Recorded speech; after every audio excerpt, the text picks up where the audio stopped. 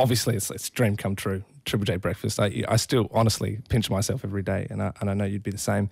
But obviously, taking after a, a colossal show like Man Alex, um, it, it is it's tough, and you, you don't you don't expect everyone to like it. We still don't. You know, we, we understand that, but it does get hard. You know, there is sometimes a fresh can of hate that you've got to open up every day, Mm.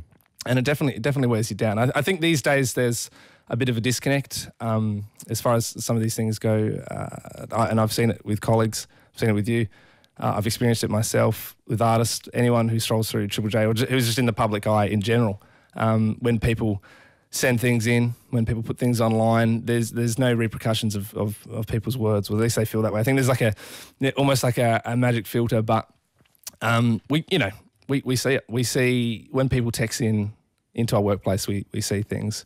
Uh, we see all the posts, we see all the comments, and you know I can I can honestly say I've had nights where I've where I've cried myself to sleep because of stuff like that. Friends and family see the comments as well. Definitely, definitely, and you know it is relentless. And even even um, mentioning friends and family because of that, you, you do you get embarrassed. You get you get ashamed of of people around you seeing that sort of stuff. I've had times where I've flown home uh, back to Adelaide and just felt like a um, know disappointment, Hmm. failure.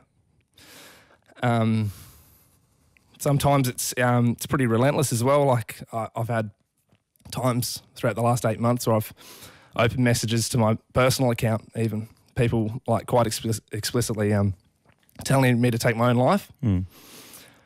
Um, and it knocks you around, especially as, as a young bloke. Like I've felt things in the last eight months that I've, I've never felt before.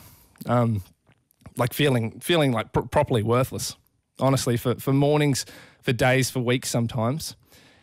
And it's it's not just online. It's you know it's happened in person before. Like we, we do have to wear this sort of stuff, and you you know you you try and you try and get through it. But I I, uh, I had a, an experience uh, a few months back. I was 20, 20 at the time, and um, a few I was walking around late at night after a, after a gig, and some guys kind of cornered me, and um, were telling me like how hopeless they thought I was, and you know they thought we were, and that I'd never be Matt and Alex, and, and all this sort of stuff. And I, I can honestly say I never, I've never felt lower than that point. I um, just felt absolutely pathetic, properly pathetic, and because I, I didn't, I didn't retaliate. You know, like there was, there was nothing really I could say. These people. You know, were people that love what I love. They listened to Triple J, and it, it knocked me around for a long time. And I haven't really spoken about I've spoken about a lot of this to my friends, but not about this specifically. But for a while there, I was actually, I, I got a bit, you know, scared to go out because I kind of thought, you know, I didn't want people to judge me or kind of, you know, I didn't know what people would say to me or, you know, I, I, I kind of got scared. Um, and, and it takes a lot to, to keep your chin up from that sort of stuff. But just wanted to say, because, you know, we all, I think sometimes you don't even realize others struggle until they, they really open up and talk about it. And we all we all do. We all have our points. And the reason we, we love this job so much and we, we continue on to do it and that sort of stuff, kind of you learn to get thicker skin and it slides off the back is because we love people who, you know, love the music, who, who love Triple J, the people who text in like this morning and and call in and, and make us laugh and smile. And, and that's what it's all about. And as I said earlier, in the spirit of Are You OK Day, make sure you ask someone today, whether it's someone that you're really close to or someone that you're not close to, um, ask the question all the same because it really does give someone a voice who, who might need a voice. Um, so, yeah, that's, that's all I wanted to say. I'm sorry to bring it to a real kind of dark place, but um, yeah, yeah, it's just one of those things. Yeah, like you said, you know, you and I uh, would be best of friends, and I've seen what it's done to you um, and to myself, sort of off air. Mm. Um, but yeah, just know that um, there's a lot of people that do love you and what you do, uh, myself included. And Thanks, uh, you know, in the messages, uh, you don't sift through the Facebook messages like I do, Mm. uh, through all the hateful ones. But through all the hateful ones, there's also a lot of loving ones.